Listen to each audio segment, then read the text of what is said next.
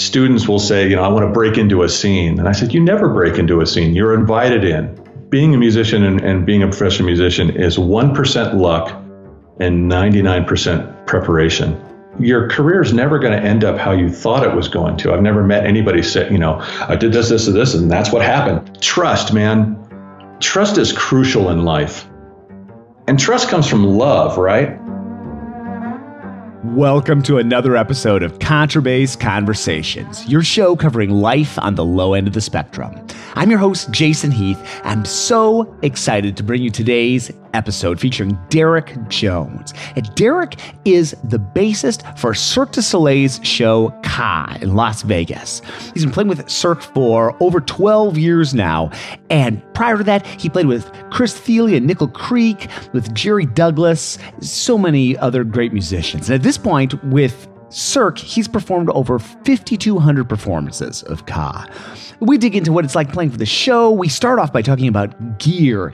Derek and I were chatting over Skype, and I was seeing all this amazing electric gear, acoustic gear. So we talk about what he uses, what he likes discovering his Eminence bass, which is the bass that he's using for Cirque right now. The band set setup for Cirque, it's actually four stories below ground level. He's playing fretted, fretless, and upright with a lot of bow work on the show, actually. So after that, we move into what might be my favorite audition story of all time. If I ever do a highlight episode of audition stories, this will almost certainly be number one. It starts about 35 minutes into the episode. And definitely check that out. It's a great story of putting yourself out there, taking a chance, dealing with the unexpected. So great. Solid gold for sure. And before we dive into today's interview, I'd like to thank D'Addario Strings, and I'd love it if you entered our giveaway with them. ContrabassConversations.com slash strings will take you there, and we are giving away with D'Addario 10 sets of Kaplan strings, which is what I'm using on my bass right now. I was just playing with the Modesto Symphony with them, and they work great in the section. They've got this rich tonal color, they're beautifully balanced, they work great under the bow. They're used by artists like Daniel Kimbrough, David Allen Moore, Gabriele Ragghianti. These are all past podcast guests, by the way. You can find them at the D'Addario website. Definitely check them out. I'm loving them. And I'd also like to thank the Bass Violin Shop, which is the Southeast's largest inventory of basses. They offer the largest number of laminate, hybrid, and carved double basses. So whether you're in search of the best entry level laminate or a fine pedigree instrument, there's always going to be something available for you to try. Check them out at bassviolinshop.com. Now, you're going to hear a couple of excerpts from Derek's album Run With Me. We're going to start off with a little selection from You Still Believe in Me, and we'll finish off after the interview with The Nearness of You. Links to everything are in the show notes. I know you're going to enjoy this conversation with Derek Jones.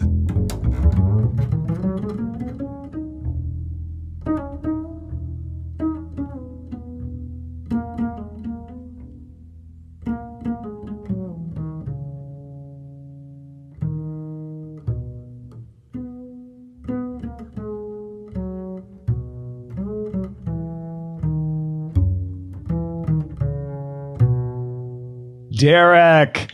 Jason, how are you? I'm doing great. How are you doing, man? I'm great. Good to hear from you, man. Yeah. This will be fun. Wait, is that a a Carvin? What is what is? No, the... this this is a uh, Tobias Michael Tobias Designs. It's the new. Uh, it's called the Super Five. Okay, cool. And it's really an interesting design because Michael kind of found the sweet spot for these two pickups. You'd usually see them, I guess, a little farther apart from each other, but he kind of put them right together and the different sounds that you can get between the three band EQ and then the uh, parallel single coil series, three different ways of wired the pickups that you can get, and you have separate separate uh, switches for each pickup.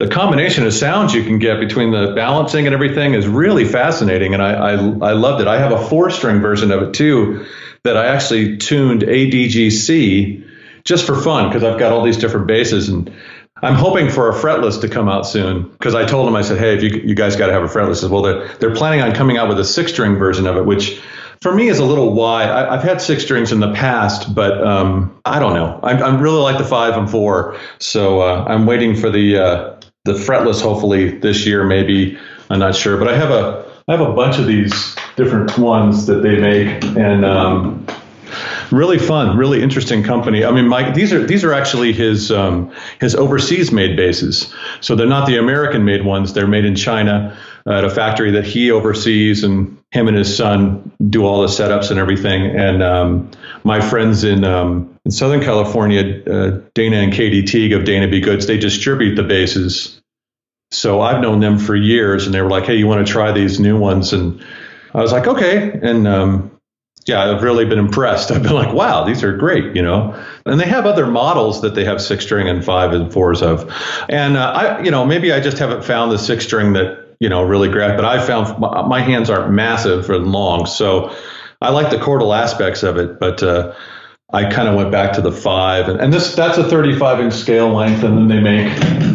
You know, this is the 34 inch Saratoga that they make, which is more of a jazz bass kind of style this is wonderful as well. This is my first bass I got, and uh, I have a fretless version of this, and I have a four-string fretted and fretless version of oh, this wow. as well for different things. and then um, and they make some other ones too, but but they're, they're really uh, for the price. I mean. Um, you know they're they're wonderful. They're really great. So. Yeah, that's awesome. So, and, and, like on the upright side of things, do you play on one bass mainly, or what do you do in terms of gear for the upright?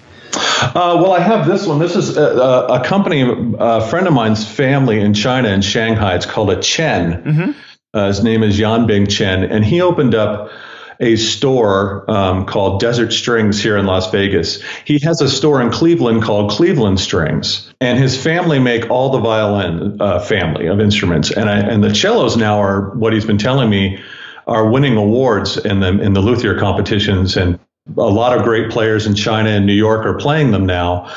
And he wanted the bases to kind of start coming up to that playability. And I kind of walked into his store last uh, December, maybe, or end of November just because I was curious. Hey, there's a store 10 minutes from my house. You know, wow. You know, I never ever thought I would buy an upright bass in Las Vegas. You know, right. Las Vegas is such a challenge for upright bass with the with the humidity. I mean, what the other day it was seven percent humidity. yeah, it's just wow. like you know. So you're always. You know, I, I went, you know, I've been to different places like Lemur Music or I've been to Lisa Gass's place and beautiful instruments, but I'm always afraid as soon as I take them out of LA and bring them up here, what's going to happen to them. So I walked in and met Yanbing, and, and he said, Well, hey, I have a bass in the back. Let me set it up for give me a couple of days and come back and check it out. And this was that bass. And I played it and I was like, wow, man, this is a this is really great, you know. So I I purchased it and and um, it's been really good. I actually had Gary Karr play it because Gary lives here. Him and Harmon live here uh, half half of the year now, and I, I got to meet him at just a fluke. My friend said, "Hey, Gary Karr is performing at the Flamingo Library." I was like, what? What? you know, what? And, and, it's a free concert. I was like, what? You got to be kidding me. And there's a, a wonderful um, youth uh, program in Las Vegas to get young people to play string instruments. Uh, Hal Weller started the program. I, I, can't think of the name of it right now. But Hal and, and Gary are really good friends. And, and um, it's a great story. So I said, man, we have to go. It's like, so we drive down to Flamingo Library. And, and all these libraries in Las Vegas are really interesting. They have these beautiful performance halls that are just really great and you wouldn't even know it and then you'd walk into this one room and all of a sudden it leads down a hallway and then there's this really like you know 500 seat theater or something like that and they're very underutilized um, but anyway uh, this was when the Bernstein letters came out, or Bernstein, the, the book Leonard Bernstein's all his letters they had this at the Smithsonian. They made it his made it into a book, and you know Gary and that family were really close. And so his daughter was here talking about the book and doing a lecture on it for all anybody who wanted to come. So we got there, and um, all of a sudden, here's Gary and Harmon walk out. And I sit there in the audience. I look at my friend John Coleman. And I go, I can't believe this is happening, man. Because I haven't, I, you know, I know he wasn't performing as much anymore, and I never got a chance to see him play. And and uh, he starts playing. I'm like, wow. And then they show a video of him playing on the radio show that Leonard Bernstein had in the 50s or late 40s, you know, he was 18 and they showed the video of him playing this the swan i think or something like that. And uh, you know i'm just sitting there going i can't believe this man. This is so wonderful. And then they sat down and talked about the book and and his life with the family and anecdotes about their lives and stuff. And it was just like sitting like a fly on the wall right? You know it was really cool. And then when they're done you know we come out and the, the everybody's in line to meet him. And I said, man, we got to get in line. Got to, got to, meet just got to say, I can't believe it, you know. So we get in line and, and line comes up. And then Hal Weller walks up and he's a friend of my friend John. And John introduces me and says, Derek's the bass player on the Cirque du Soleil show Ka. And Hal goes, Oh my gosh, we all went to see the show last night. Gary and harmon and Mrs. Bernstein, all of us went. And he goes, I have to meet, introduce you. So he just takes me out of line and we walk up to Gary. And, you know, it's just like, wow, you know. And Gary's like, oh, we loved the show. I loved every, oh, it's such a beautiful show. And then we started talking and talking. And then he goes, we were talking about his bass. He had the travel one that he had with him. And he goes, you want to check out the bass? And I went, Are you kidding me? so, so, we all went back back on the stage, and, and another gentleman was there with one, some of his students, and Gary just hands me his bass, and I just start playing. I, I thinking, there, I can't believe this is happening. And then we just kind of became friends and kept in touch, and I go over and and hang out with him. So when I got this bass, Yanbing said, "Well, man, it would be an honor to have him play a couple of the basses and see what he thought." And he loved them. So um, and he doesn't travel with a bass anymore. Even his travel bass, he showed me on a on, on a trip to Japan like a year ago. They had broke the fingerboard right off of it, you know, and they had glued it back on just before the performance. Like they, all these guys came out in like in Japan and glued it back and everything, and and and it was it was. But he said, I, after that, I won't I won't travel with a bass, you know. And now he's getting ready to do the the commencement speech at the 50th anniversary of uh, ISB, and that's really fantastic. So, well, and how how cool that he lives there. I had no idea that he and Harmon were living there half the year. His mom lived here. She left them a house, and then they um, set up residence in Summerlin on the west side of the valley. And uh, yeah, it's just like a random kind of thing where he said, "Oh, we live here." I was like, "What?" You know. And so he invited me over to the house, and we hung out for about four hours just talking, and it was it was great, you know. And but I, I the bass was really great, and and um, the Chen, ba- Chen Instruments. Uh, they're a family of instrument makers in Shanghai, and I, you know, like I said, I never thought I'd buy a, a bass here in Las Vegas. And since it was, it hadn't been here too long. I'm not sure how long it it had been seasoning here, but um, I just, you know, I keep, I have a humidifier here in the room, and you know, you just kind of, you know, try to keep it up as much as you can. I, I don't put the dampits in the bass like I used to. Um, but yeah, so I, I, have that, and then I have an eminence bass, which is uh, my friend Gary Bartig helped come up with that and design it, and he um, uh, I met him when I was living in Nashville back in 2001. Actually, I played the I played the bass for the first time in Colorado at a festival when I was playing with the Mike Marshall Darol Anger band, and this was before I moved to Nashville, I believe. And I, my friend Byron House was another wonderful bassist out of Nashville and a dear friend, he he he had one. So we were backstage kind of jamming, but it's a small box. You can't really hear it. You know, it's not made to play it acoustically. It's made to fit golf club case when you take it apart, and it sounds great when you plug it in. So uh, maybe a year or two later, I had moved. We had moved to Nashville, and I was I got this gig with this band Nickel Creek. So I needed something to travel with, and uh, I, I checked out a bunch of different companies, you know, through, uh, through the NAMM show in Nashville, and I, I met, you know, uh, just like maybe the top 10 or five or eight, whatever upright EUBs that are out there. And um, they were all wonderful instruments, but when you put a bow to them, they just sounded electric. You know, it was kind of like, okay, that's, that's as far as it can go with that sound. And then uh, I heard a live recording that Nickel Creek had given me when I started studying the music. And Byron was playing bass, and I called him up and I said, "Hey, man, is that your your big bass that you brought on the road?" He says, "No, man, that's that Eminence bass I told you about." And I called Gary up five minutes later and ordered one because the bow, the bow tone on it just freaked me out. I was like, "That's the bow tone on that," because he was playing this beautiful bow solo, and I was like, "Wow, man, that is killing." So I just I just bought it, and then I got it and set it up. You know, it's pretty easy once you get used to, you know, taking it apart and put it together. It's great for travel because no one charges you any oversized because everyone wants golf golfers to be traveling. They don't want to stop the golfers. So it's in a golf case. So they, hey, you know, so it's it, you know, I haven't been out there traveling. I mean, with I've been on the show now 12 and a half years and uh I have been traveling like I used to, but this base, you know, that's actually the base I use on the show because when I got here, I'm in there. There's two studios. We're four stories below the stages. It's 13 story, 12 story theater. It's a massive thing. Seven stages that move. So we're four stories below ground level, if you will, and and uh, there's uh, six musicians, uh, two keyboards, vocal, cello, accordionist, guitar player, another vocalist in one room, and then drums and bass in the other. And I play three basses on the show, fretted, fretless, and upright. And there's a lot of bowing, a lot of orchestra kind of type stuff. And I'm not I'm not a classical player. I didn't study. I never played in an orchestra really, but I I, I got to hang out with Edgar Meyer, and I've got to meet guys, and I'd ask them questions. Ask everybody questions. Gary, I've been asking questions, you know, and just trying to feel it and, and study it and and and I've had lessons from time to time and it's been great. Um, but when I got here, they were really worried about how they were going to mic up my big bass because the drum set is two feet away, and it was like, okay, um, how do we do this? So they were going to build a wall inside the room, and then how do we get air conditioning to it? And there was all this kind of discussion and kind of trying to figure it out. And so I said, hey guys, I may have the perfect instrument to come in here and do this with.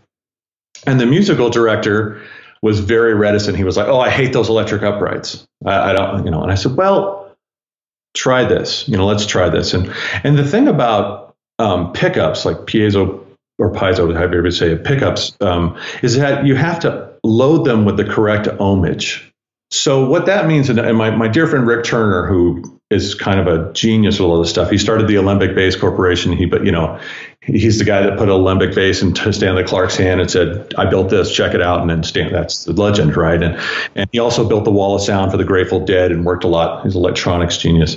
And he taught me this because I was working. I he was a friend of mine, and and uh, he built the the pickups that Brian Bromberg used for a while. And so he was discussing that you know you really have to have between three and ten mega ohm load on a piezo pickup to open up the frequency range because if you plug it into just a regular input of like a direct box or a, an amplifier you're going to get your mid-range frequencies and then your highs and your lows aren't going to be coming through the through the pickup so that's why a lot of people get, oh, it sounds so nasally, right? And you put a bow to it, it's even worse. It's like, oh, it's like it just accentuates all that. Well, what I learned, you know, I my my preamps I use. I'm a Fishman artist, so I use the Fishman Platinum Pro EQ, which is just fantastic, and it's a 10 mega ohm input load.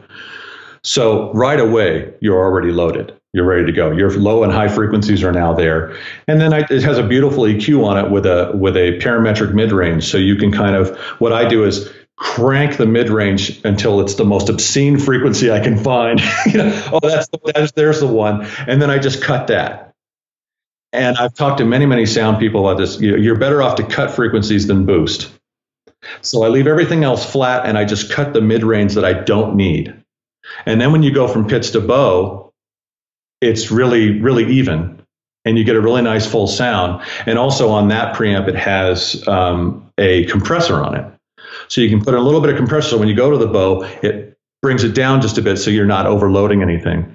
So I brought that into the studio and plugged that rig in and they went out and started checking in the house and they were like oh my god you know this is just great you know it just sounds and it was totally the thing and since it's a small body i mean you're still going to get some sound of the drums because it's a it's it's designed to you know it has a, a bass bar and a sound post in it and it's it's going to pick up sound but it's not going to resonate as as great as big as a larger body so that's kind of was the comp, the compromise and then i actually had to use mine on a on a gig. Sometimes I get called out of town, very rarely.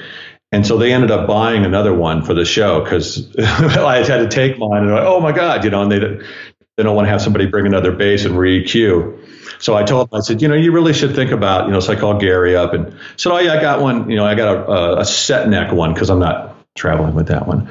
But that's pretty much when the Fishman Platinum Pro EQ came out. I got when I think it was in 2001 or you know, I was working with Nickel Creek and that came out. I was using uh, an LR Baggs direct box, which is also a fantastic device, really wonderful. They make great products too.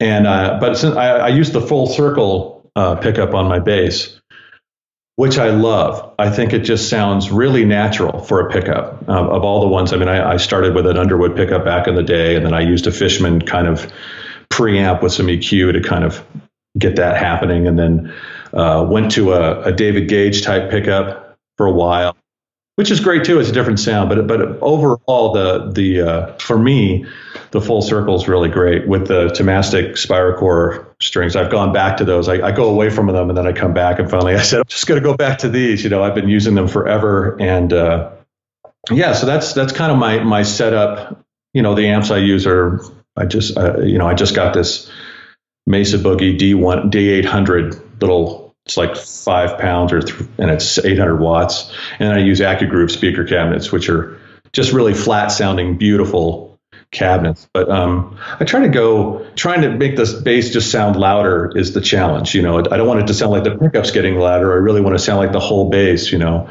so kind of you kind of listen. You know, you just kind of use your ear and listen, and you can find those things like getting the mid range out of the way a little bit. Kind of just lets the lows and highs stay where they are, and you're just taking out the frequency. And instead of trying to cover it up with the other things, just find the one that's nasty and then just cut it down a bit. And yeah, that's a great technique. I mean, I've done that like when I'm working in a DAW or something with a certain thing. I never thought yeah. about doing that on a bass, uh, but it makes total sense. Like, what's what's that uh, for your? It's probably different for everybody's instrument, but like, what's that band for you that's really obnoxious? Like, oh, wow, I wish I, I wish I was that good to, to know the band. I mean, I think it's around 250. Okay. I don't know, but I, I, just know, I just know that if you're looking at the mid-range control and I get it to about one o'clock to two o'clock, and I have crank on that preamp, that's where it is, and then I go, okay, there it is, and it's pretty much consistent. And then, um, yeah, and, and again, you just use your ears. You know, you listen, and, and and it's a challenge too because you don't want to take too much of it out because especially if you're playing in a situation where there's a drum set and there's cymbals and things like that stuff could get covered up too much. So you, you, you know, you're always kind of just listening, just keep listening and keep listening. You know, this, I can't say enough how much listening is required, you know, as in everything else we do. If we, we can hear stuff, but if we don't listen to things, then, and, and make those decisions, uh, but it takes time. It also helps to, um, have your amplifier off of the ground somehow because, um, that resonates with the, with the stage as well depending on what stage you're on. It could be hollow, it could be something, it could be solid. All those things kind of mix with everything else that you're doing. So what I do is I carry um, it's little it's little pad. It's called the Auralex GRAMMA, uh, but there's a couple of companies that make these things, and it's just a acoustical um, foam on top of a with a wood base on it. And you stick that on the stage, and then you're it decouples your speaker cabinet from the floor. So you're actually getting a flat response from the speaker cabinet now. You're, you're not being influenced by the vibrations and the resonant frequencies of the floor that you put your cabinet on. Because i found man that can really mess you up. You know it's like go one place sounded great. Next place oh what happened? You know also if you're in a corner you know that that changes things too. But lifting it off the ground even that little bit with the foam and just decoupling everything gives you much more of a flat response and you can kind of hear exactly what you're supposed to hear instead of what you think you might be hearing with the walls vibrating you know. We used to do it i remember when i was playing in the bay area because i'm from the san francisco bay area so i grew up there which you're living at now i yeah. hope you're having a great time. Love it. Um, yeah so all my you know i grew up playing there and i was really fortunate to to have the experience to play with uh, Orestes Vilató in, in Los Kimbos 90, which was in the early 90s was like the salsa band you know, and Orestes is like he played with Cachao. You know, I mean, he played with Tipica '73. He played with. I mean, he's a legend. I mean, he played with Santana.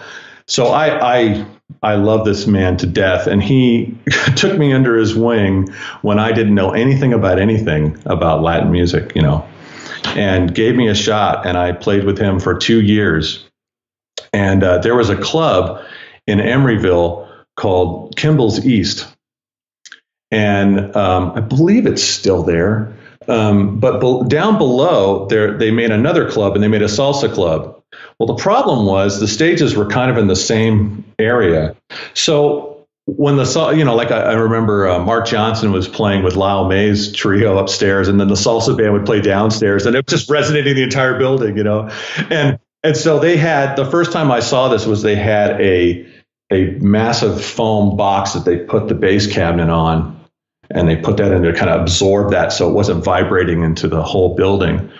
Um, and it sucked if you were used to the vibration of the bass. You're like, oh, I don't hear anything. I don't feel it now. But you had to get used to it. But it was the first time I saw that was working with those Kimbos and seeing that. And at first I, th- I didn't get it at all. I thought it was like just sucking the tone out of out of my rig. And then I realized, no, you're actually hearing what your rig really sounds like. So if you don't like it, you got to do something about that. Yeah, yeah, yeah. hey, man, here's the truth. Accept it or don't.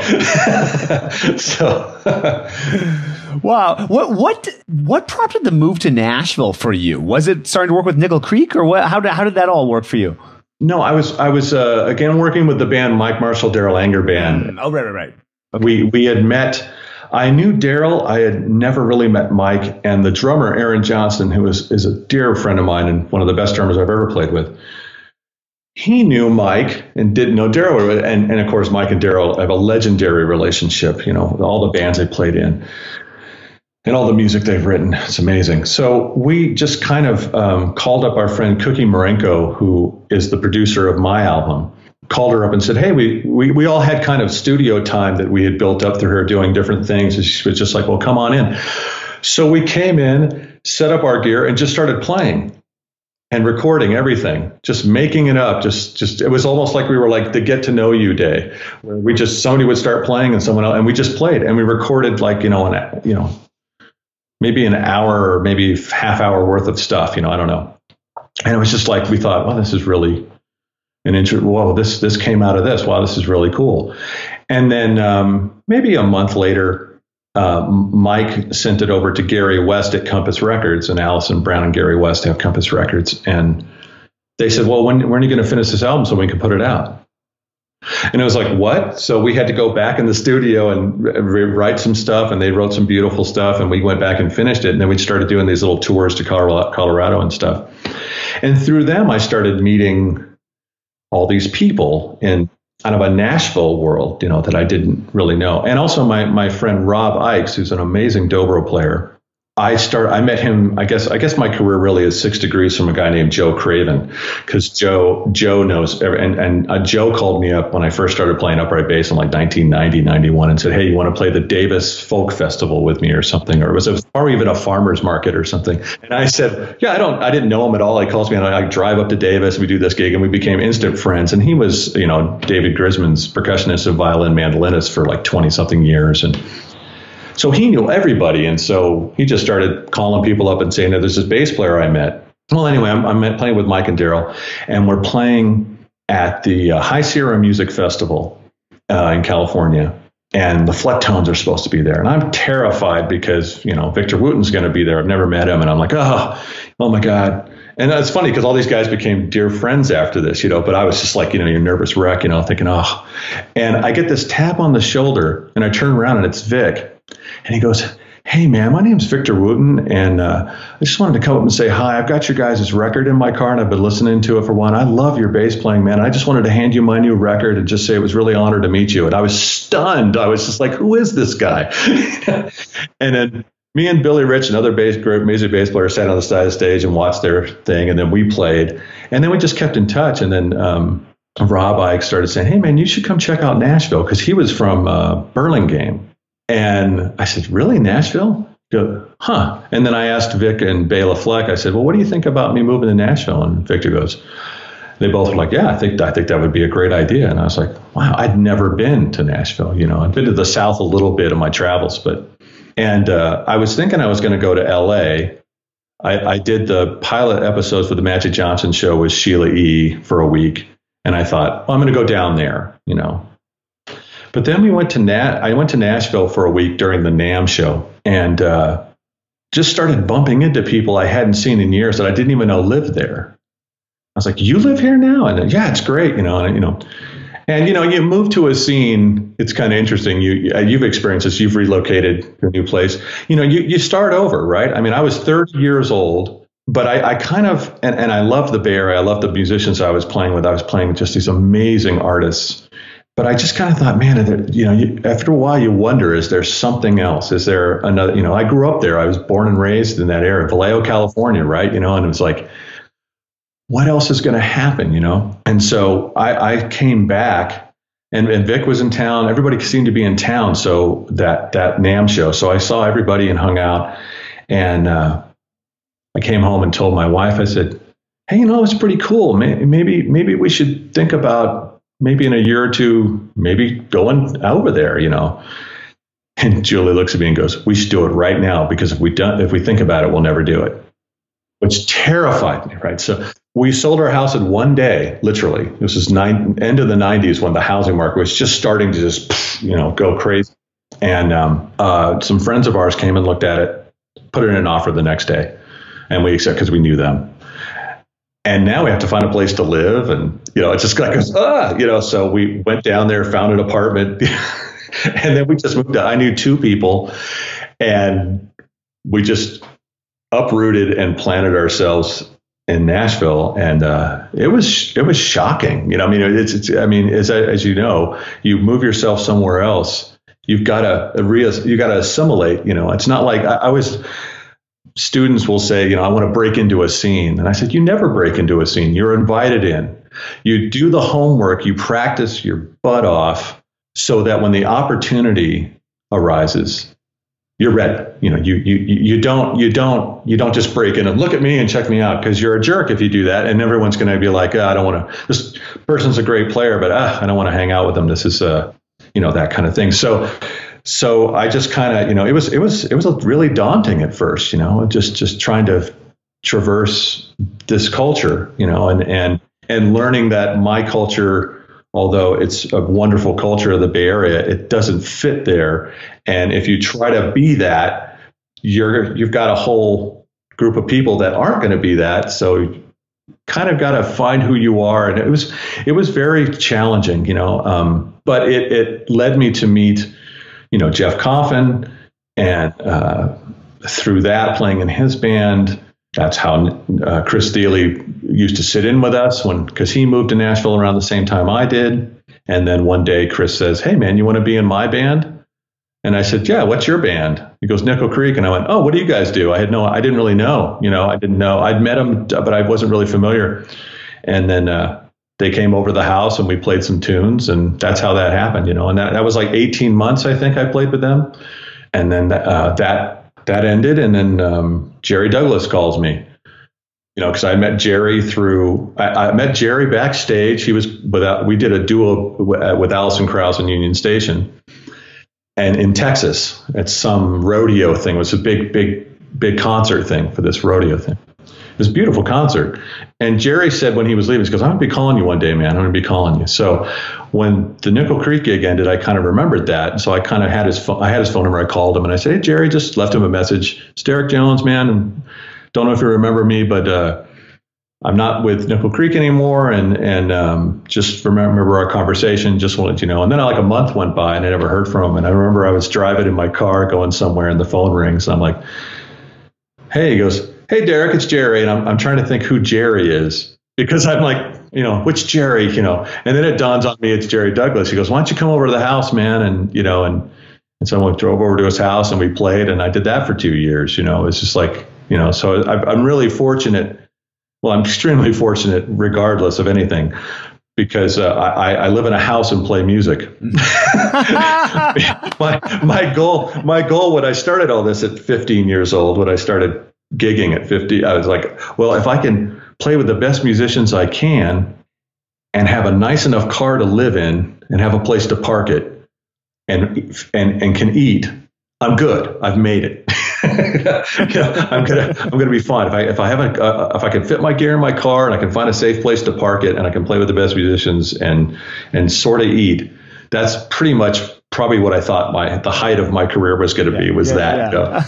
and and uh, but but playing with Rob Ickes and Jerry Douglas, two of the greatest dobro players that have ever lived, and record with them and you know that was that was that was great. And then that led to Cirque du Soleil because uh, they came to Nashville to audition artists. So they had a uh, they had an ad in what's called the Nashville scene, which is kind of like the Las Vegas week, pink section in the Chronicle. You know, it's, it's, it's an entertainment, what's going on in town kind of thing. And bottom one of the pages says Cirque du Soleil coming to audition artists of any kind. If you're interested, email us. And uh, my wife and I had seen they had a Bravo day of Cirque du Soleil stuff. I, one the first Christmas we were there, and so we ended up watching that because we were like fascinated. It was beautiful. I thought, man, what a beautiful company. This stuff they're doing is so great. Alegria specifically, that was the culmination of music and art and everything to me. For me, it really grabbed me. The music was great. Uh, Dave Peltier's fretless bass playing was just beautiful. And, you know, he, he lives here now. He plays on Mystere. And so I got to thank him and go, hey, man, because of your playing, I got really interested in this company. And, you know, so it's really beautiful. And, and he's a wonderful cat. And um, so when I, I remembered those Bravo shows, oh, well, yeah, it doesn't hurt to email him. And uh, so they emailed me back, said, we're going to do these auditions uh, in, in August, August 4th, actually, at SIR Studios in Nashville can you be here blah blah blah time. So yeah, I showed up and and um, yeah the, the audition process was way different than it is now because now they have a whole YouTube site where you can upload videos and it's real easy man. It's like you know you can get the charts and play along. They sing you the tracks you play along with them upload them to their play and then they evaluate you there. And then you know you kind of go through the steps much easier. But this this is when they were still going and they still go around the world checking out stuff. But this this was their first, I think, and only time they've gone to Nashville. But um, I showed up with all my instruments, and then it, there was no music, nothing. It was just make it up as you go. You know, I, I pulled out my upright, started warming up, and they were like, "Wait, wait, wait! Don't start yet. We we don't have the cameras on." And then they put they have three cameras and three people, and then the sound guy from Nashville, and and I'm just warming up. Oh, what piece is this? And I, I it's not. I just I'm just warming up. I don't know. I just I just make you know. Oh wow, really? You know. So then they started off with Uh, okay, we're going to play a piece of music for you, and then you're going to hear it once, and then you're going to come up with a bass line for it. So they play me the piece of music, and they said, "You ready?" And I went, "Yeah." And then they play it again, and I play along with it. Great. Now we're going to play you the bass line once. You play it back to us. Wow. Okay. Got it. And play it back to him. You know. So there was no. It was all hearing and listening, right? Listening, and then it just went on and on different things. And, and I said, well, wait, I got another idea. Play it again. And I'd come up with a different, grab a different bass, grab a pick and start playing different things, you know, and they were like, wow, this is great. And I, and I started noticing that they're really looking for somebody with a lot of different concepts, maybe they'll give them different sounds and be real open. So it was just a great first hour of the audition where, where we just were laughing and having fun and playing ideas back and forth to each other. And then I, I was done with that. And, um, then I start to put my instruments away, and then one of the uh, people from Cirque, uh, Anne Marie Duchesne, says, "Well, Derek, that was the instrumental part of the audition." And now we're going to have you sing and dance and act. And we know you're not a singer or a dancer or an actor, but we just want to see what you can do. And I knew exactly what they were doing. I realized at that moment, this is where most musicians tank the audition because they say, Oh, I don't do that. Right? And I just allowed them into my world and they came in totally willingly. I played my stuff. They allowed me to play my stuff. They allowed me to take their music and do different things with it for an hour. And they were like really open and completely clean slates and just allowing me to bring my ideas to the table. Now they're going to bring their ideas to the table. And they have to see if I trust them enough to bring me into their world. And I went, okay, let's do it. They said, really? Yeah, let's do it. Okay, the first thing you're going to do is you're going to dance. We're going to put on some music and you just move your body. We don't care. Just move around. And then when you're done, freeze and hold a pose and we'll turn the music off.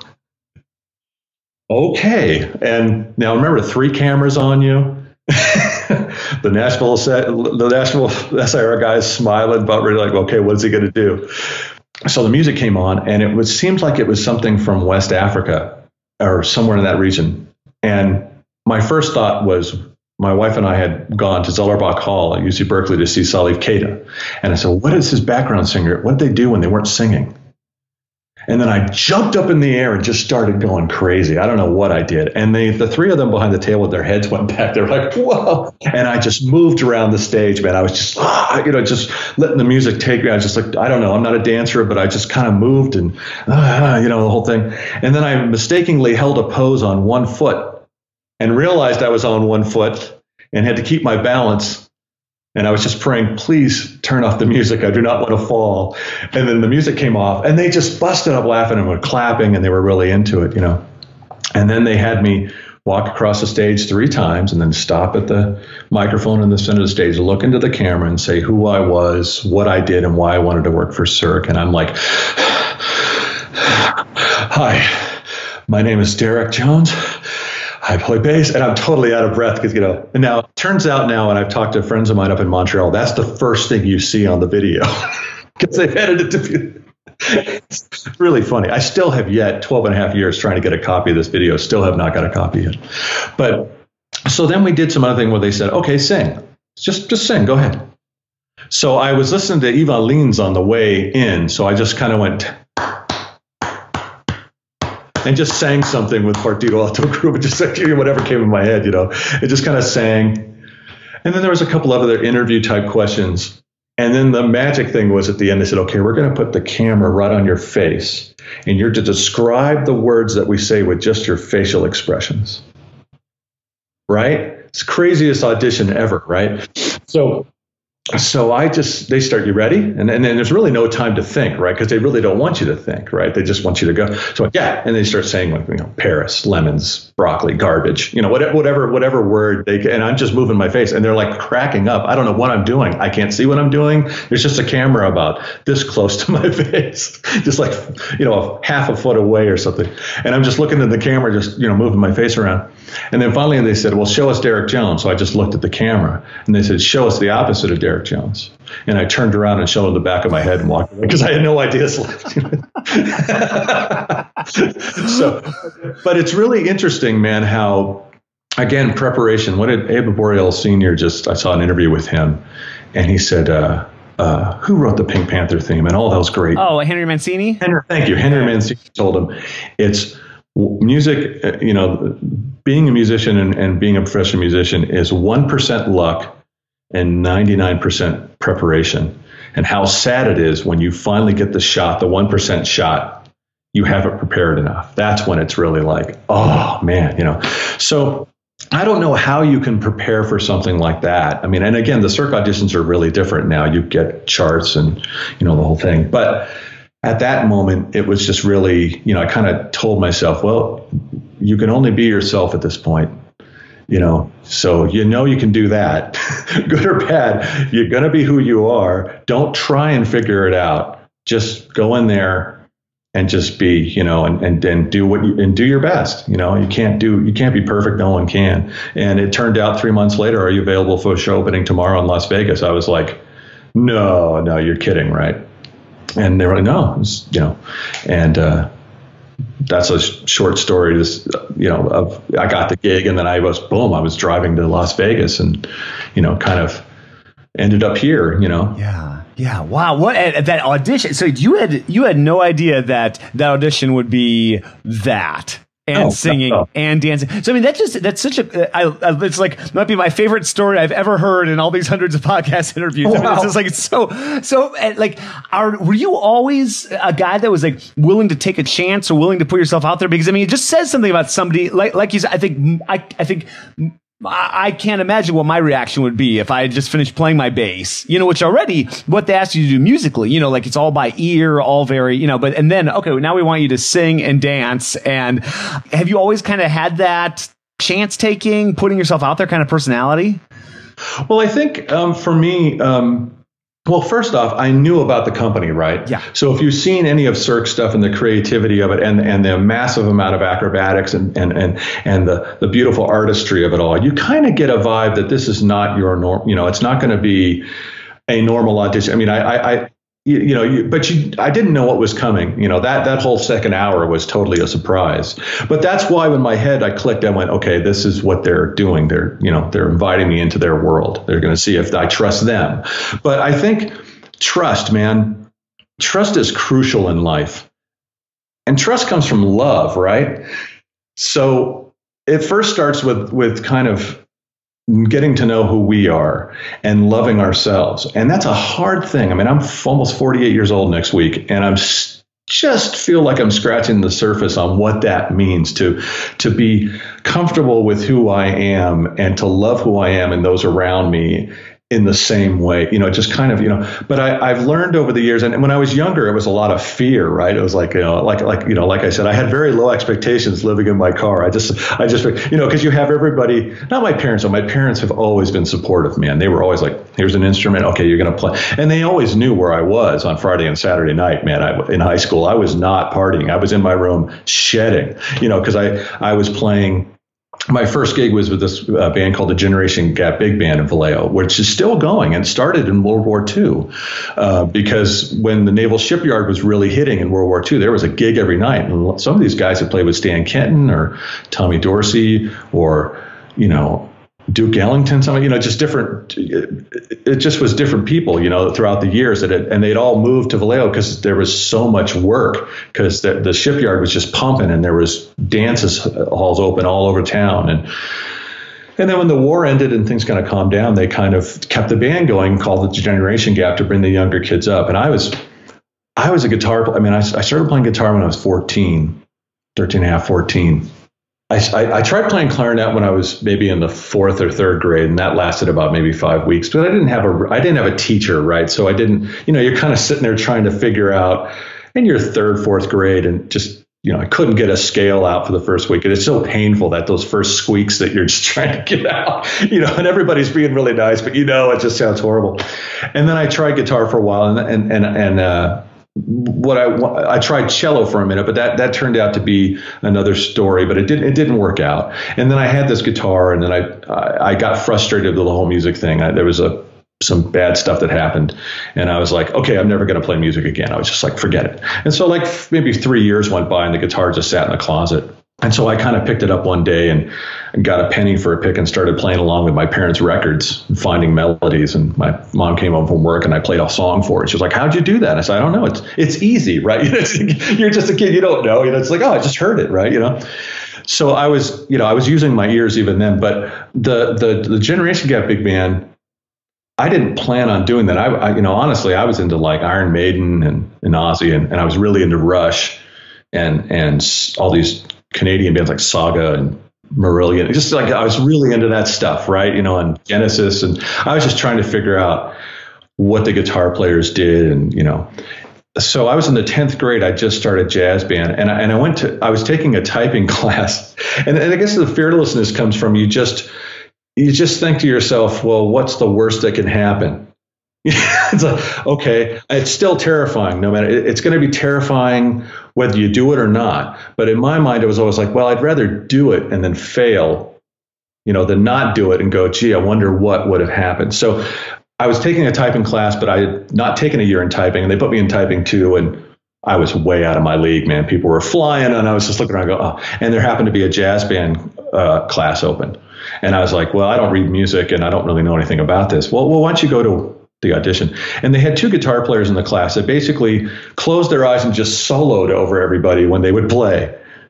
Drove everybody crazy, and I thought, and I watched them. Well, I could at least do that. I could do. I could. I could at least not do that. Is because I was watching everybody's reactions to it. I could at least stay out of the way. So I got the gig, and through that, the drummer said, "Hey, I've got this band that rehearses on Monday nights at the Moose Lodge called Generation Gap," and and so I show up in my Levi's jacket, my long hair, and my Gibson SG guitar, and I, I could barely lift my amp at the time. And I walk in, and the band looks at me, and they just shake their heads like, "Oh God, you know, who's this kid?" You know. But I had two things going for me, three things going for me. I had Mrs. Hibbard, who was the piano player, and she was, I was, her sons were in the band, and she was very adamant about me getting this gig. The guitar player's wife wanted to play bingo on Monday nights, so he couldn't go to the rehearsals anymore. And he was retired, you know.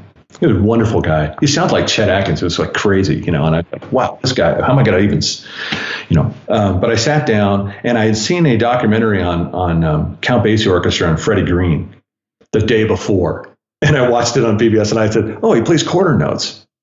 That's all he did, just grooves. So I went, okay, that's what I'm going to do. I'm just going to do that. I'm just going to read these chord charts and I'm going to play quarter. And uh, the leader of the band, Russ Kano, the co-leader of the band, was legally blind, so he couldn't really he couldn't see what I looked like.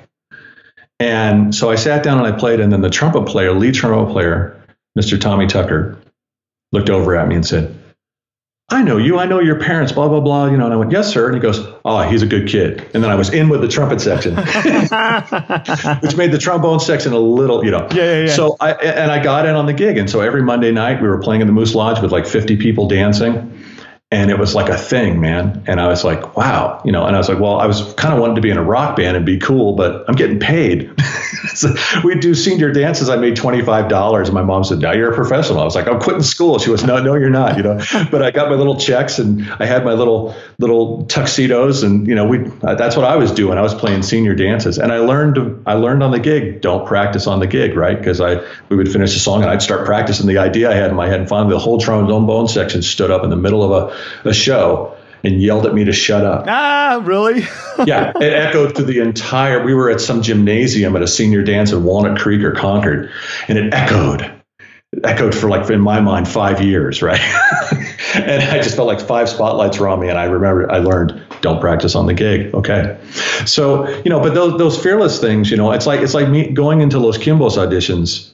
I just wanted to meet Orestes because Orestes played with Cachao and Santana. When I was a guitar player, I was totally into Santana. And because of that, I heard Raul Rekow and I heard all these guys and Orestes and uh, Armando Peraza and just, you know, Tom Coster, all these great musicians. And I was like, man, if I could one day be around these guys for a second, you know, just to, wow, be in their presence. So my friend Ben Hever, a wonderful pianist in the Bay Area, we were teaching at the same school, music school up in Vacaville. And he goes, hey, man, you like Latin music? And I said, yeah, but I I only know really Santana. I'm not really versed in all the other stuff. He goes, well, why don't you come to my house, man? I got a, a percussionist of mine. We'll, we'll show you the Cuban stuff and Bergen.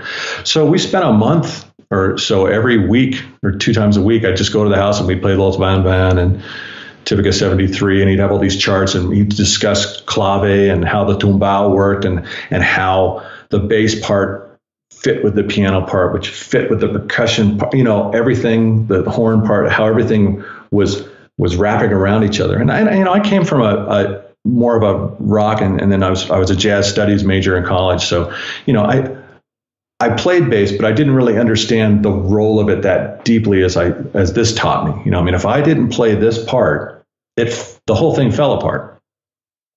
So it was like, oh God, okay. So I really kind of got into that. And then it made me think about my walking baseline patterns, or if I was playing on a blues gig, what's the importance of what I'm doing? Instead of, I can't wait for my solo, right? it's like when you're, oh man, I can't wait to burn over these changes, Ugh, you know. And and all of a sudden I was like, I, you know, I can't burn on these changes. I have to lay this down or go home. So then Ben says to me one day, Hey man, Los Kimbos is auditioning bass players. You want to audition? And I thought, no, but yes, I have to. I mean, I was terrified, right? I mean, that, that, that's you know, there's like ten guys that were just killing uh, going to audition for that. I mean, that was the, that was the gig because they worked like twenty times a month, man. I mean, it was like back then the salsa clubs were like all over the Bay Area. But I thought if I could just meet Orestes, right? If I could just meet him, I could get it. If I get his phone number, I can get a lesson with him. That would change my life, right? Uh, that's all I want. And, you know, I, I, don't need much. I just need that moment with him to ask him certain questions. You know, it was kind of like when I met Kai Eckhardt, you know, the, the legendary bass player, right? And I heard that live at the Royal Royal Festival Hall or some album, the trio album that came out in blue and green, and I was like, who is this guy? And then I'm at a I'm at a jam session in Benicia, California, and I overheard the drummer going, yeah, I hung out with Kai Eckhardt last night. I was like, beeline over there. What did you say? And and he says, "Oh yeah, man, he's moved to town. He's getting married." And and I said, "Do you have his phone number?" He goes, "Yeah." And I went, "Oh my god, you got to be kidding me!" So I got his number. And the next morning, I waited till like 10, 10:30, and I was shaking as I dialed the number, man, because I thought this guy's gonna get away from me, kid. You know. So, I, and I called him up and I said, "Mr. Kai Eckhardt." He goes, "Yeah." I said, "My name's Derek Jones. I was wondering if you taught lessons." He said, "Sure. You want to come over?" And I was like yeah. you know, so it's taking those chances, man. I mean, for me, those were chances for me because I thought, oh, they're just to blow me off. And, you know, or, you know, I always, I guess I always thought people were meaner than they actually are. You know, I was always kind of like, oh, you know, what are they to do? And, um, so I, I, I, they sent back to Los Kimbos, but I ended up meeting meeting Kai and having a lesson with him, and then we ended up having a band for a while, two basses and drums, and we did homeless shelter gigs in Berkeley, and I, he became one of my dearest friends and one of my favorite human beings on the planet, you know, and of course learned so much from him. Uh, but then when I the, so they sent the Los, Kim, Los sent me three charts to learn. So I kind of learned them, and then I was the last guy to audition because get who is this guy? So I get there and um, I, I, meet Ben at San Francisco State University where they were rehearsing, and then uh, Orestes walks in with his gear, and I couldn't believe it, man. I was just like, uh, uh, uh, oh my God, it's, it's him in the flesh, you know. and Ben goes, Hey, Ori, man, this is Derek Jones. He's a young bass player. He's going to audition. And he looks me up and down and he looks at Ben, like, who's this kid? Nobody knows who he is. You know, I'm like 21, 22 years old and he kind of puts his fingers together about maybe four inches apart goes well some people know salsa and then he widens his arms all the way around. and some people know salsa. And i took my thumb and index finger and put them as close together as i could. I said i'm about right here sir but i am so thankful i'm standing in front of you and i can't believe i'm meeting you you know and he goes and he laughs and shakes my hand and goes in. And then ben goes here's the deal man. Oh, Orestes doesn't play around. So if he gives you the evil eye you're done. And i said man i will get the evil eye in three notes if I can get his phone number afterwards, that's all I'm here for, right? Now, I did my homework. I didn't just like, you know, show, I, I shedded that stuff. Yeah, I was yeah, like, yeah, yeah, I'm gonna, I'm, if anything, I'm going to know these songs. You know, and these, the band's been auditioning bass players and, you know, they all have the guy that they want, you know. And so when I come in, they're just done, right? They're like, tired, want to go home. And I understand. So I'm just like, okay, this will be quick because they're just going to stop me. And that's fine. So we start the first song, and I'm playing. And all the rest of this is looking. I'm just got, I've got my eye on him, a corner of my eye on him, and on the chart. I'm looking back and forth, and he's looking at me, and he's kind of giving me this look like, "Huh." and I'm like, "Is that the evil eye?" and then we get about, you know, almost down the first page of the chart, and I start thinking to myself, "What a nice guy." He's going to let me finish a tune. How cool is that? He's not going to embarrass me. You know, he's going to let me finish the tune. And he's going to go, nice try, son. You know, it's a, well, that's really cool because I've heard he just like, no, stop, no, out. You know, we finish the first tune. All right, he goes next tune, and I go, wow. And then the band's kind of looking at each other. What's going on? And my friend Ben's looking at me like, wow, you know, like everyone's kind of okay. So we do the next tune, and and Orestes starts kind of grooving and moving his body. And now he starts to play a little more, and it starts to terrify me because the power coming off of him is just like, oh my god.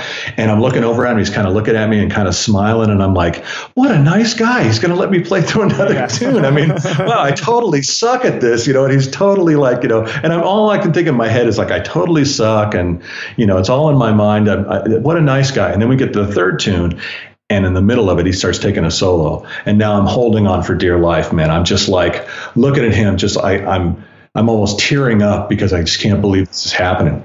And he's just grooving and looking at me, and I'm looking at him, and I'm thinking, what a, again? What a nice guy, man. This is, you know, I've got everything I've ever wanted in life. right yeah, yeah, you know, yeah. it's like this is all I've ever wanted. Mm-hmm. and then we finish, and then they pull out a chart for me to sight read, and I, I get through it okay, you know, and and and try to I'm kind of like my brain is spinning because I can't believe I've gotten this far. You know, I'm just like, wow, fourth song, you know, with the with the greatest band I can imagine, you know.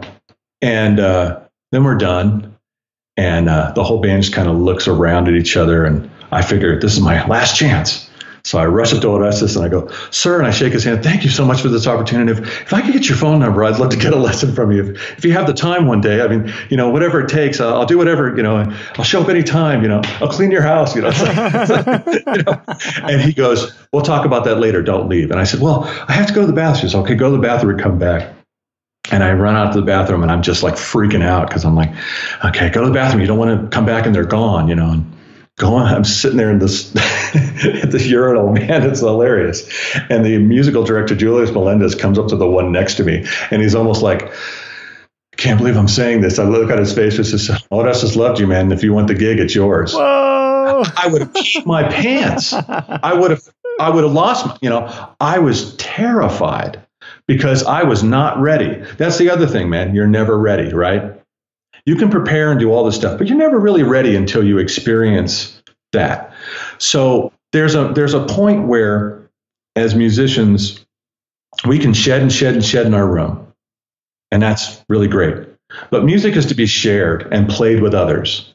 You know, I don't care how many YouTube channels or whatever you have of these guys soloing and doing all this great stuff. You put them in a room with another musician, how do you listen to them? You know, music is a conversation, right? And it should be maybe, you know, another teacher, the great Mel Graves, who I studied upright with at Sonoma State, told me, he said, it's 10% your ideas and 90% everyone else's. And it's your reaction to what they're saying. And if everybody listens like that, then the music can do what it wants. Because the music tells us what it wants, right?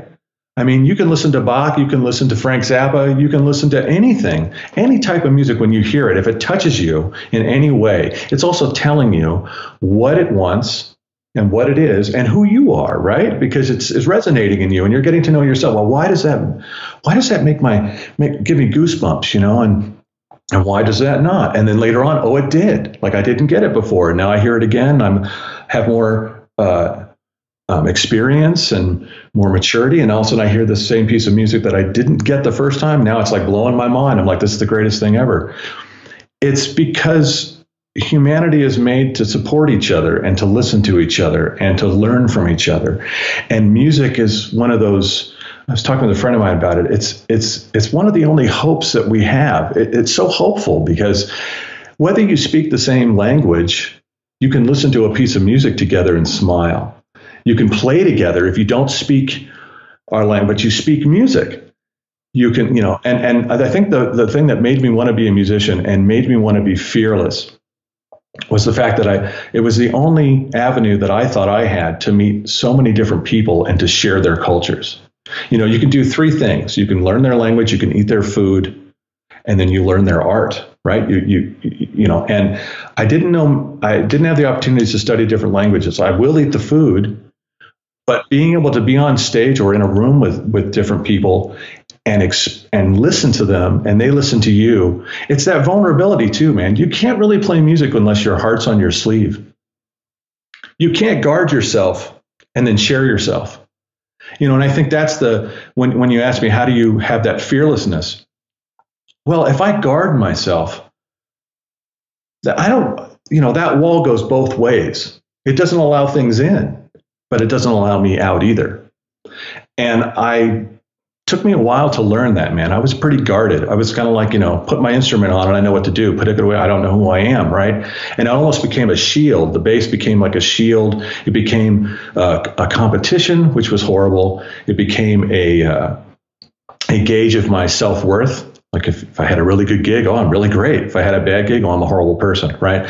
And it's all that stuff that we we, we put pressures on ourselves. We work so hard, and your career is never going to end up how you thought it was going to. I've never met anybody say, you know, I did this, this, and this, and that's what happened. You know, you just kind of go and take a step, and then another step, and then the universe opens up as you're as you're stepping, and and you know, you end up where you end up, and you just keep working at it. You know, I mean, it's uh, so that fearlessness. Uh, you know, most of the musicians that I admired had that I mean, you listen to them; they have a thing.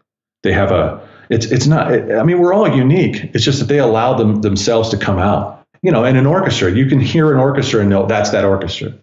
You feel the energy that they have or that group of people. You know, it doesn't necessarily you have to know everybody's name, but because they've worked together so long and they know each other so well, that music has a thing because of them, not because of the music, because of them playing it. And I think that's where the, you know, again, for me, I wanted to be around people like that because I admired that, you know. And when I was in a band called Grease Factor, which was Jeff Sipe, was Aquarium Rescue Unit's drummer, and Count M'Butu was percussionist Aquarium Rescue Unit, Shane Theriot on guitar, who's now the MD for Daryl uh, Hall and Oates, and then uh, Johnny Neel, amazing organist and keyboardist and singer from Nashville, play with the Allman Brothers. Blind cat, man, that will literally, I've had been on stage with him and he will look at me right in my eye.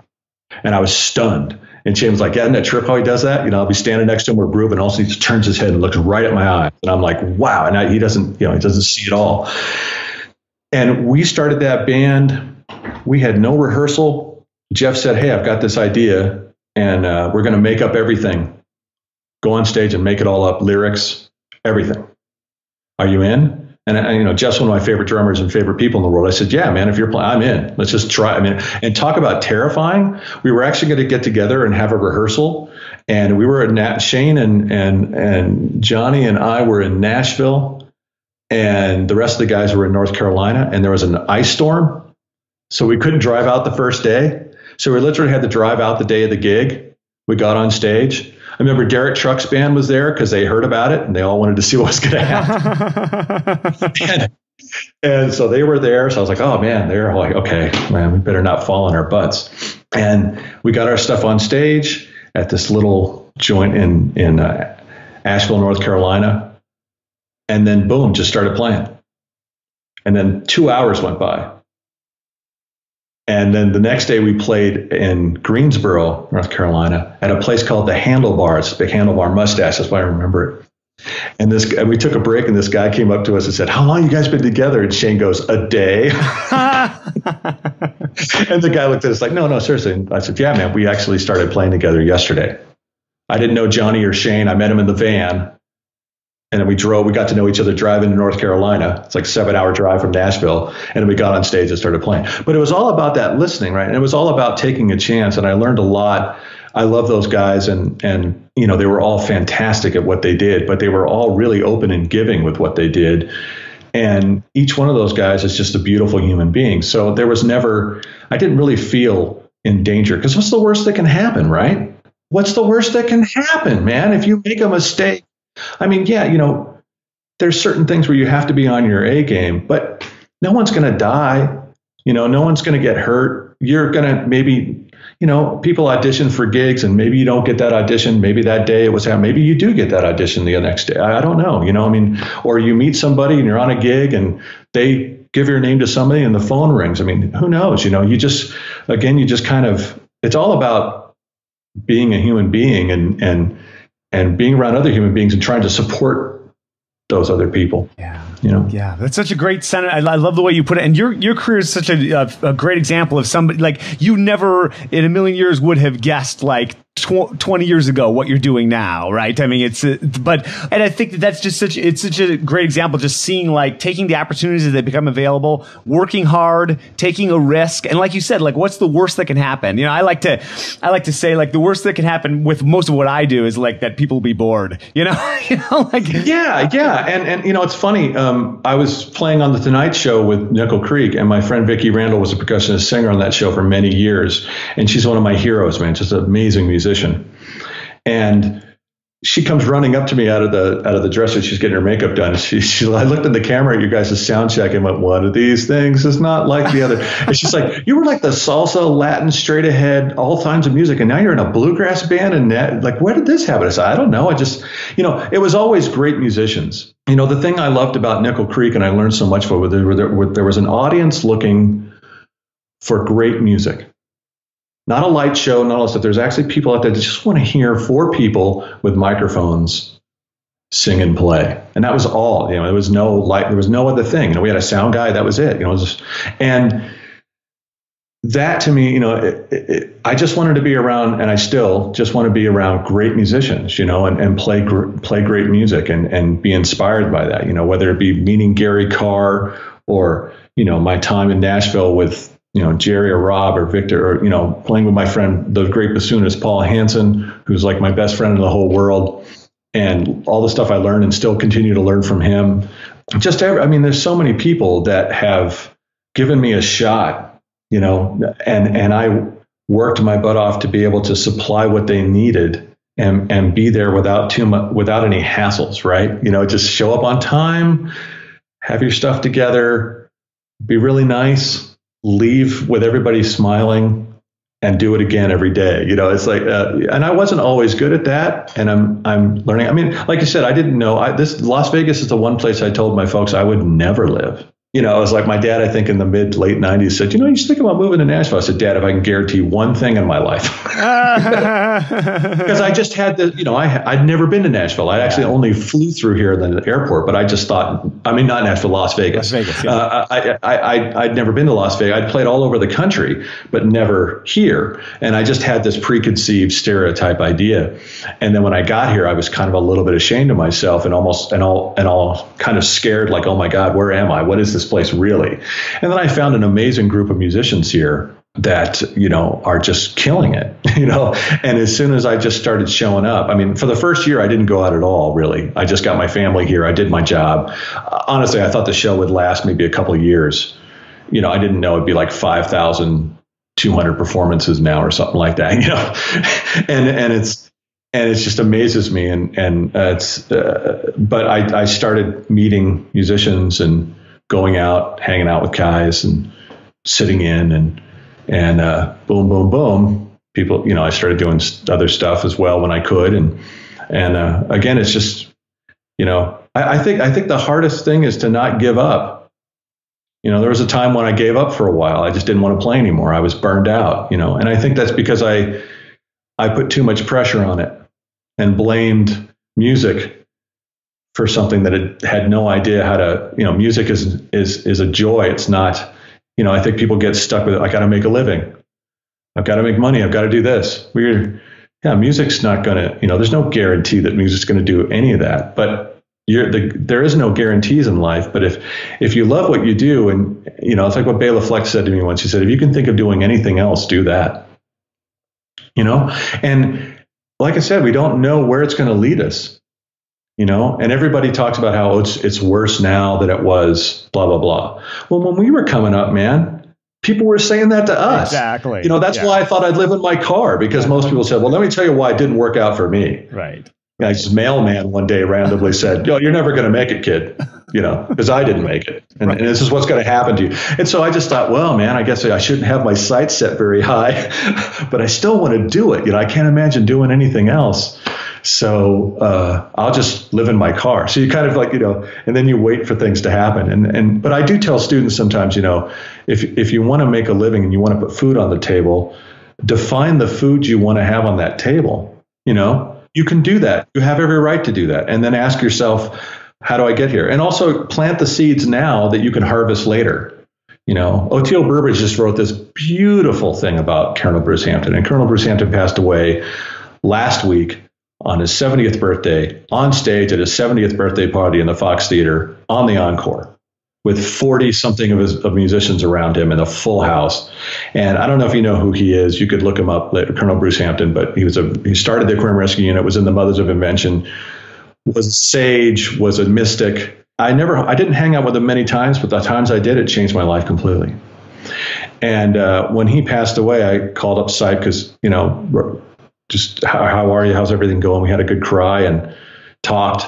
And it made me realize when Oteil wrote in his on his website about Colonel Bruce and about how the stuff they did where they were making no money, just playing gig after gig after gig, was the seeds that they were planting for the harvest later when he like joined the Allman Brothers band or when they, they all went to different gigs and they had had all this. They were all amazing musicians and they had gone through all the fear and the stuff. And, you know, Colonel Bruce said, you know, I, I want to hear your fear when you play. I want to hear who you are. I don't want to hear all the slick stuff that you worked on in your practice room. I want to hear about your dog dying. I want to hear about the happiness you have about your parents. You know, he would just discuss this stuff at length, man. I want to hear your life on that stage. I want you to, you know, if you ain't sweating at the end of the gig, you ain't playing, right? You know, all this stuff he would say. That's all we have, right? I mean, if we're going to be musicians and we're going to do this, no, you, you can't look at somebody else and go, gee, I wish I would have had their gig because they were, that's their life, you know? You just have to kind of keep hoping, you know, and, and, and, and keep working at it because it's going to get better. It's, it's, you know, there's seasons, man, you know, and we, we plant seeds. I'm planting seeds now that I probably won't even see for 20 years, you know, and, you know, you just have to keep planting those seeds and those seeds are love, man. And when you can plant those seeds of love, and you show everybody love and you show love through your music and you share your music and your passion for what you do and with with with all of us and we share it back what else is there? What else is there? Because that's what we're called to do. If that's what you're what you want to do then don't let anybody tell you that ah you know it's not like it was. Ah you know I saw the Spotify records just say, you know, that somebody made 1.0000595 cents a play, and you know, and it really sucks, and you can't make a living, and you can't do anything. There's no place to play, blah blah blah. You know, it's like, well, you know, that may be your experience, but there's people out there playing and growing and doing stuff all over the world, and uh, we just have to continue to do it. And this podcast, your podcast, man, is so inspiring because I'll turn it on and listen to stuff on my way into work or my way from work or just doing things around the house. And everybody you you interview, man, there's always at least one, if not ten, things that you can take away from it. The questions you ask, you let them talk, and how you go, oh, that's great. That's a great idea. Oh, that's a great, what a great thing. What a great concept. What a great technical idea for approaching this arpeggio. What a, what a great idea for getting to the gig or setting this up. I mean, man, you know, this stuff, you, the work you do, man,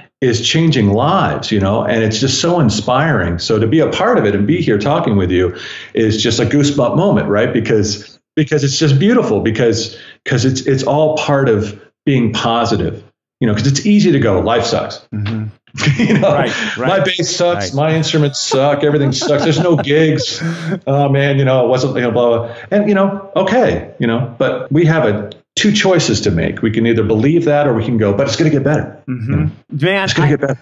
I love it. Well, I, thank you for the kind words. That means so sure. much to me. I mean, sure. and like, and what I just love the, you're just so eloquently describing things that just ring so true to me. And you know, like this, I, I lo- one of the things I love about doing this is like I would want to have this conversation with you anyway. You know, I mean, this is like an right. awesome talk, and then there's this added benefit of sending it out to the world, and you're hearing from people in Australia, in Europe, and Indonesia. I get emails from people, and they're like, "Wow," you know. So it's just so cool to have that added benefit of having these conversations?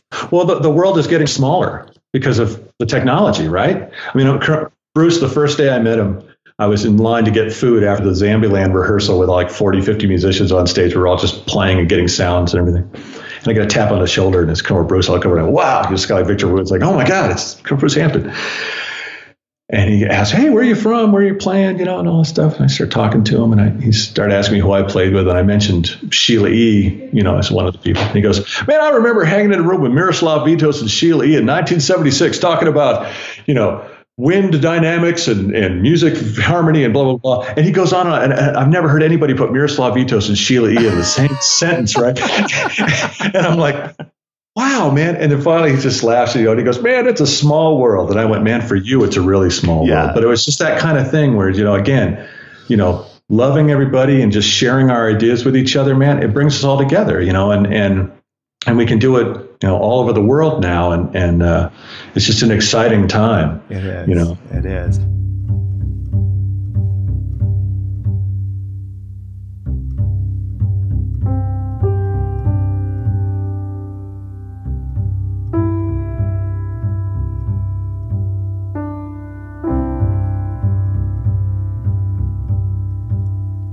The pale moon that excites me. That thrill.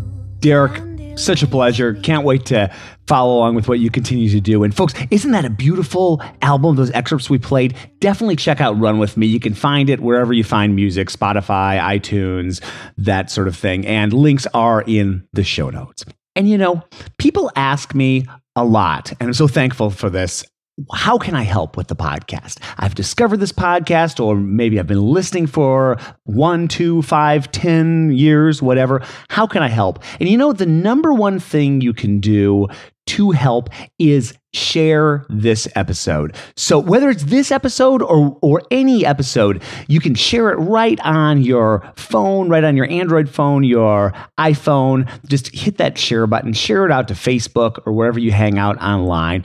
Go to our website, contrabassconversations.com. Look through the last few months. Share out an episode that you like. That's the number one thing you can do to help. There are a lot of other things you can do to help for sure. And those are all listed on our website at contrabassconversations.com slash support.